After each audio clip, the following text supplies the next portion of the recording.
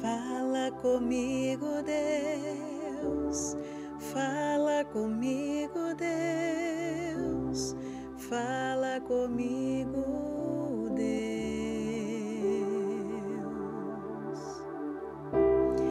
Fala comigo, Deus. Fala comigo, Deus. Fala comigo,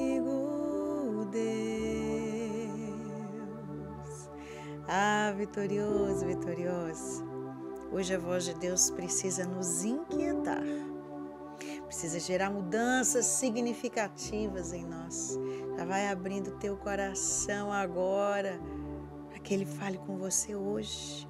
Mas antes, bora, vamos para a nossa missão. Fazer com a voz de Deus me ajuda a alcançar outros corações. Vamos dobrar esse número. Eu preciso de você, vai. Hoje, envie esse vídeo para o máximo de pessoas que você pode porque o mundo inteiro precisa escutar essa palavra hoje. Todos precisam ser tocados, alcançados por essa palavra. Compartilha, já se inscreve aqui no canal. Se você é novo, seja bem-vindo. Se você já está rezando com a gente há mais de uma semana, bora, já se inscreve no canal. Deixa o seu like.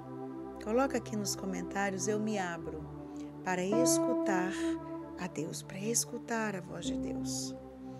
A palavra de Deus hoje está no Evangelho de Lucas, capítulo 7, de 31 a 35.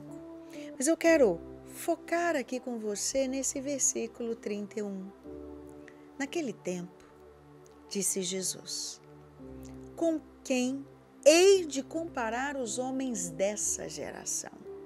Com quem ele se parece?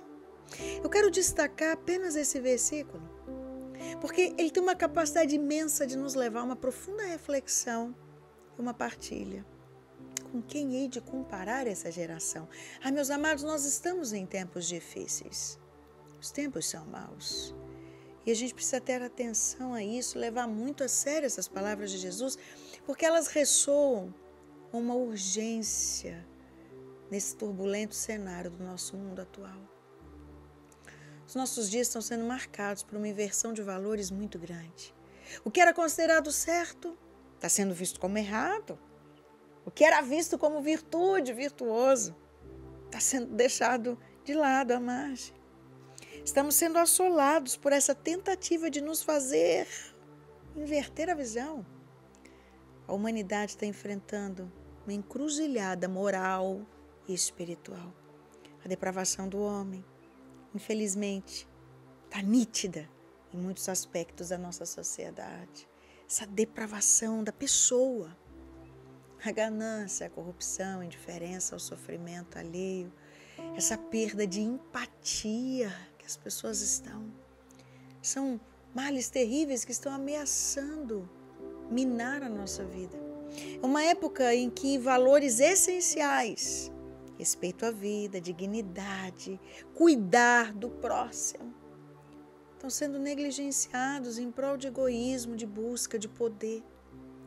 A tecnologia é uma ferramenta incrível para muitos aspectos, mas muitas vezes está sendo usada para disseminar ódio, divisão, morte, contaminar nossas crianças, perturbar as famílias. Mas é exatamente nesse momento de desafio a mensagem de Jesus vai ganhando mais relevância, mais poder. Ele nos convida a olhar para dentro de nós mesmos, para as nossas escolhas. Com quem queremos nos comparar? Eu me pergunto, Raquel, com quem você quer se comparar? Podemos escolher nos parecer com aqueles que buscam a verdade, a justiça, o amor, mesmo quando o mundo ao nosso redor parece perdido? Você é capaz de se manter fiel íntegro, perseverante na santidade, mesmo quando todo o resto parece estar indo na direção contrária que você. Lá no teu trabalho, na tua faculdade, na tua casa. Em meio a tudo isso, nós podemos ser a voz de consolo, a voz de força, a mão estendida que oferece compaixão, o farol que guia outros na escuridão. Mais do que poder, é nosso dever de cristãos Amados, precisamos buscar referências que nos inspiram, que nos alimentam, Precisamos ler mais sobre a vida dos santos. Precisamos deixar que eles nos inspirem uma vida de verdade. Às vezes você está gastando tanto tempo com redes sociais, vendo coisas inúteis, fúteis. Mergulha, inspira-te em coisas que te levam para a verdade, para a coragem, para a entrega. A fala de Jesus hoje nos provoca e precisa nos inquietar. Ela nos alerta sobre a nossa missão nesse mundo que está em constante mudança e cada dia mais longe dele. Diante dos desafios, a gente tem algumas opções. Qual será a tua escolha, filho? Qual será a tua escolha, minha amada? Qual será a minha escolha? É no dia a dia, nas pequenas decisões. Senhor, eu nasci para te chamar de Deus. Eu nasci para te chamar de Pai e andar ao seu lado.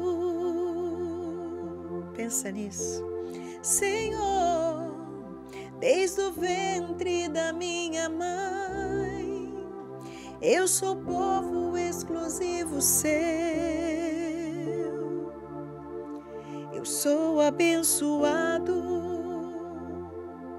se vivo obediente. Pensa nisso. Mas todo dia o pecado vem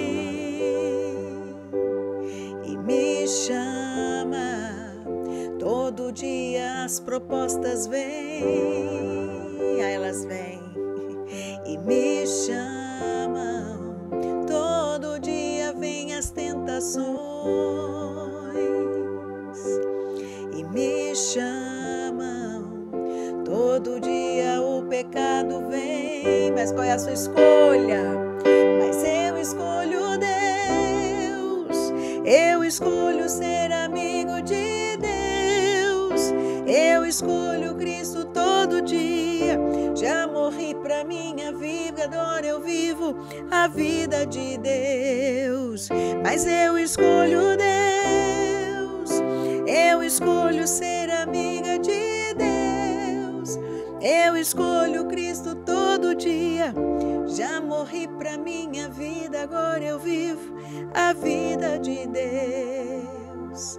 Eu escolho Deus você. Eu escolho ser amigo de Deus. Eu escolho Cristo todo dia. Já morri para minha vida, agora eu vivo a vida de Deus. Isso é tão sério. Mas eu escolho Deus. Eu escolho ser amigo de Deus no meu trabalho, na minha casa, todo dia, em todas as escolhas. Agora eu vivo a vida de Deus. Senhor, nós suplicamos que a tua força esteja sobre nós Ajuda-nos. Ajuda-nos a sermos fiéis. Ajuda-nos a dizer o sim. Quando tantos nos perseguem, quando tantos riem, quando tantos se dizem até cristãos, mas estão indo para outros lados.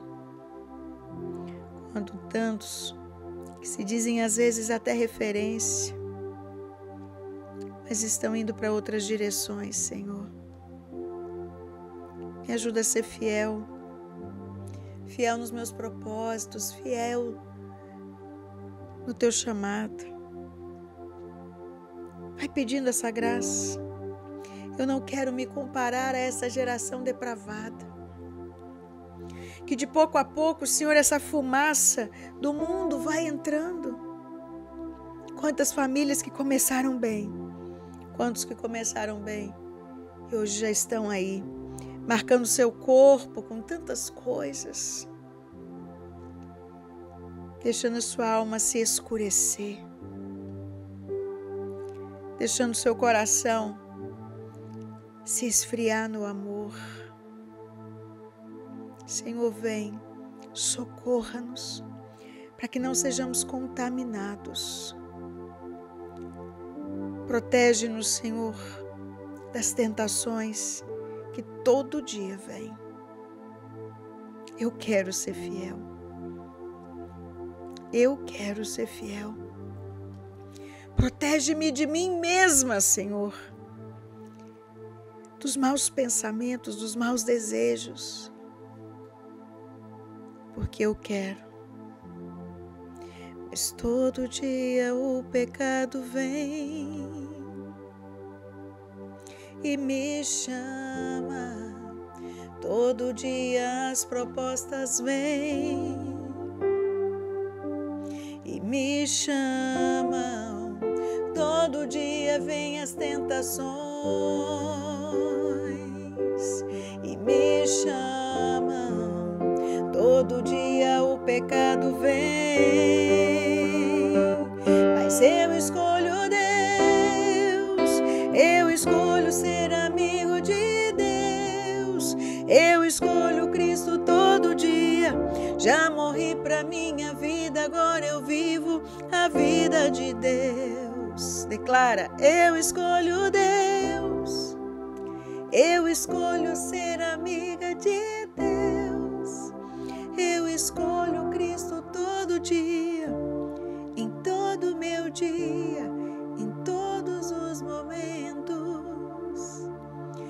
Agora eu vivo a vida de Deus. Dai-nos essa graça nesse dia hoje, Senhor. Inquieta-nos com essa pergunta: com quem hei de comparar esta geração? Eu escolho me comparar contigo, Senhor, mesmo que me custe. Glória ao Pai, ao Filho e ao Espírito Santo, como era no princípio, agora e sempre. Amém. Em nome do Pai, do Filho e do Espírito Santo. Amém.